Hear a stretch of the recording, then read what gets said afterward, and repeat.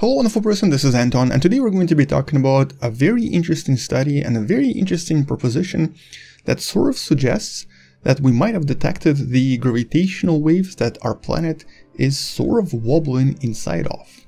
Or basically right now as you're watching this video without even realizing your body, my body, our whole planet is sort of being shifted back and forth kind of like a boat on the ocean in some sense very similar to that buoy that you see on the screen that is being shifted left, right, up and down by the activity of the water itself.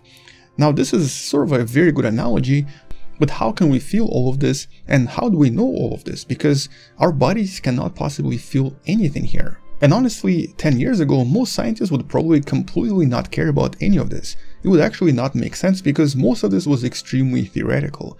But in the last 5 years, ever since the original detection of the collision between two different black holes, and ever since the pretty much weekly detections coming out of LIGO, the research station that's responsible for discovering all of this, we've pretty much made it a fact that gravitational waves are a thing. We know that, for example, when black holes collide, they produce observable effects that we can detect from planet Earth. And the more massive the black hole, the more likely the frequency and the amplitude are going to be different from some of the other black holes. So for example, smaller black holes will usually spin around one another really fast at the end, and so the frequency is going to be really high, but the amplitude is going to be lower because the total mass is lower. And in this case, you can kind of think of this as a high frequency, but not a very loud sound. And this is what we've been detecting for the past few years, including of course collisions from neutron stars, collisions between a black hole and a neutron star, and we believe that other events, such as for example a collapse of a star to become a black hole, will also produce various types of gravitational waves. But more massive black holes, such as for example supermassive black holes, will produce much lower frequencies, as a matter of fact something that's extremely extremely low, not even 1 Hz in frequency, but the amplitude is going to be much higher. So it's kind of like having a very low tone but an extremely loud tone. And this in itself will produce very very powerful and very influential gravitational waves. However, this is something we're not able to detect right now because for LIGO, which is right here on this graph, the limit of frequency is between 10 Hz and 10 kHz, which means that it can easily detect certain types of collisions between smaller black holes, and possibly even detect certain types of supernova, but anything below that is essentially invisible to it. Now in this graph we also have something called ELISA, or the Evolved Laser Interferometer Space Antenna, which is supposed to be able to detect all of this. But the thing is, this is still in very very early planning, and this is going to be an interferometer orbiting around the Sun itself. Currently planned for sometime in 2034, so maybe in 15 years from now we might have something like this. But until this is operational, we're not really able to detect lower frequencies very well. And so detecting these very powerful and very influential collisions is at the moment beyond our reach. However, some scientists a few years ago realized that there's maybe a way for us to detect all of this, just not very specifically. It's something we can do basically as an average calculation of all of the waves together just to see if there's really any effect on planet Earth. If we could somehow calculate the precise position of planet Earth and how it essentially changes throughout, for example, several years, we might be able to find a way to see if it actually is being sort of wobbled around just like that buoy on the surface of the water. So if we can actually calculate where the Earth is located, we might be able to find the evidence for even more gravitational waves that affect planet Earth. And it just so happens that there is such a technique, and it's been sort of developed over the past decade or so. And that technique relies on something absolutely fascinating, something we've been studying for a long time, pulsars, specifically millisecond pulsars. The thing about millisecond pulsars is that they actually represent some of the most accurate clocks in the universe. Not the most accurate, but they're pretty close. A typical millisecond pulsar is essentially a neutron star that spins ridiculously fast. It spins several hundred times per second. And the pulsations produced by these neutron stars are so extremely precise that you can literally use a bunch of them to geolocate yourself anywhere in the universe. Now this is a pretty interesting concept because it can eventually, in the future, possibly allow us to travel very vast regions of space and know exactly where we're going. But right now, at this moment, what we can actually do by studying these pulsars and their pulsations is identify a lot of things about planet Earth and its location in the galaxy. And more specifically, here we can actually establish if the planet is orbiting around the galaxy as it should, or if something is shifting its locations compared to some of the pulsars in the galaxy. Now the biggest and the most well-known such study is this one right here known as Nanograv, and I've briefly talked about this in one of the previous videos as well. There's also one such measurement going on in Australia with the Parkes telescope, and there's the European version of this as well. But the most famous and the one with the most accurate results so far is definitely the Nanograv.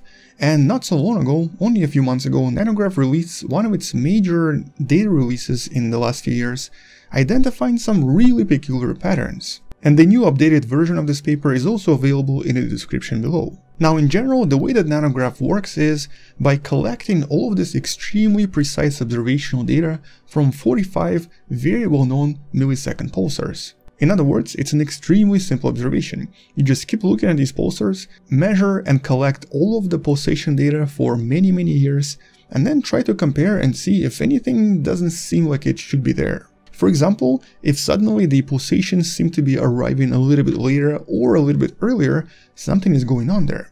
Now obviously if it's one or two pulsars, maybe that's something going on with the neutron star itself. But if all 45 of them are experiencing something really similar at around the same time, now that's something that we definitely need to investigate. And in some way you can even think of this as literally a galaxy-sized gravitational wave detector. Because what essentially these pulsars are doing is giving us very very precise observations of any potential shifts and any potential changes in the space-time itself. So it kind of acts like a LIGO, but on much much wider scale, and basically provides us with data from not just one single event like black hole collisions, but from many different events that may have happened in the period of thousands and millions of years, and also over a much wider area of space, equivalent to a chunk of a galaxy itself. And theoretically, if these gravitational waves are indeed affecting us right now, what we should be detecting is some sort of a slight wobble here and there, just like that buoy in the water.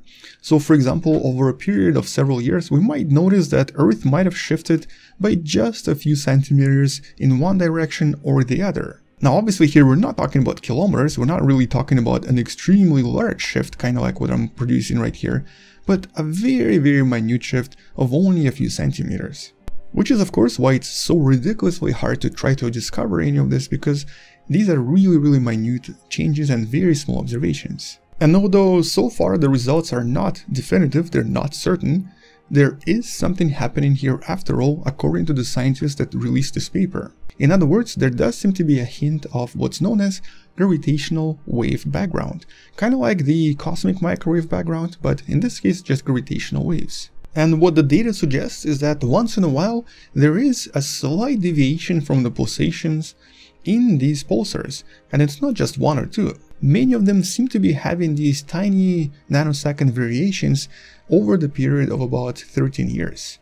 In some cases, the uh, deviations are about 100 or so nanoseconds, which implies that if this is the case, or if indeed this is actually what's happening here, the Earth itself might have actually shifted by about 100 feet or so, or about 30 meters. Now that's of course a very preliminary discovery and that's something that needs to be investigated for possibly at least one more decade, but it does suggest that there is what's known as a gravitational wave background after all. Something that essentially squeezes, stretches, and shifts around every single object in the universe without those objects even feeling it. Because unlike the buoy on the ocean, you don't actually feel anything here.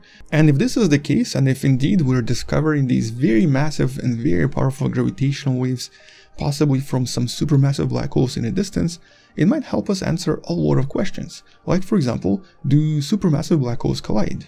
Ironically, the supermassive black hole collision right now is still not a very well understood phenomenon. Theoretically at least they should never be able to collide, but we also cannot explain the massive size of some black holes without these collisions. But this is actually another topic and I've talked about this in one of the previous videos, the video on the so-called final parsec problem, the video that should be popping up somewhere right there above my head. But the scientists in this paper are also very careful to not call this gravitational wave background just yet.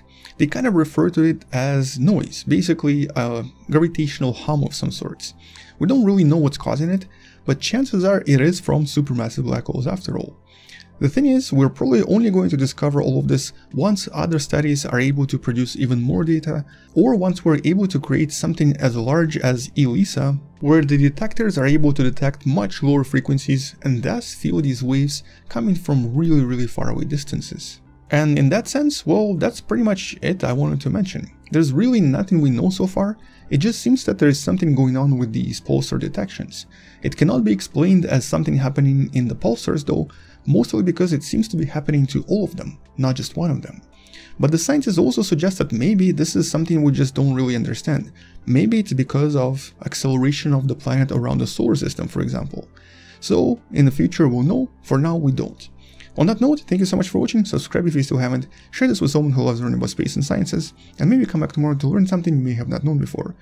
Also, maybe support this channel on Patreon or by buying the Wonderful Person t-shirt you can find in the description. I'll see you tomorrow, space out, and as always, bye bye.